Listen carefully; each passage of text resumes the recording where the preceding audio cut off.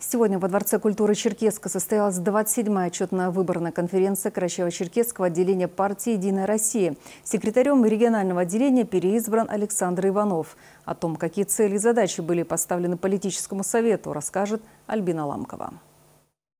В работе отчетно-выборной конференции Карчаево-Черкесского регионального отделения партии «Единая Россия» приняли участие делегаты из всех 12 местных отделений, депутаты Народного собрания республики, координаторы партийных проектов, представители исполнительной власти и общественных организаций республики. Партийцы обсудили итоги последних избирательных кампаний, реализацию партийных проектов в регионе, достижения в экономической и социальной сферах, работу первичных отделений. Были отмечены наиболее эффективные и востребованные востребованные населением проекты. Это городская среда, благодаря которой за время проекта благоустроены 340 дворовых и 120 общественных территорий. А в рамках проекта «Новая школа» было построено 7 общеобразовательных школ на 3304 места и 22 детских сада на 2320 мест. По программе по капремонту образовательных организаций,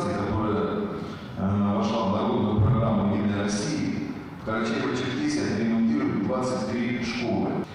По проекту э, «Детский спорт» в 48 сельских школах проведен э, ремонт спортивных залов. Построено более 60 спортивных объектов. Около 200 объектов Карачаево-Черкесии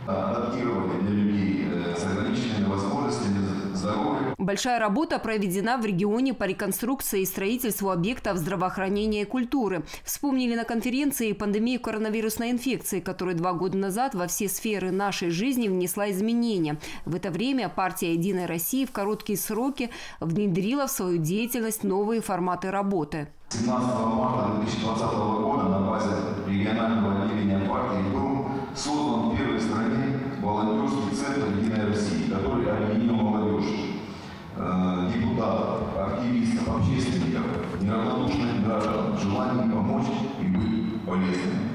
Вновь секретарем регионального отделения партии был избран Александр Иванов. Были обозначены новые планы, учитывая опыт, так как сделано многое, а предстоит еще больше.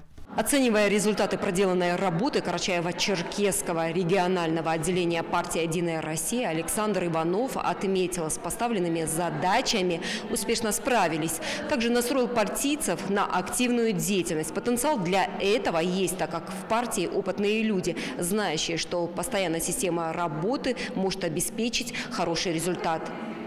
Альбина Ламкова, Роберт Джигутанов, Вести Карачаева-Черкесия.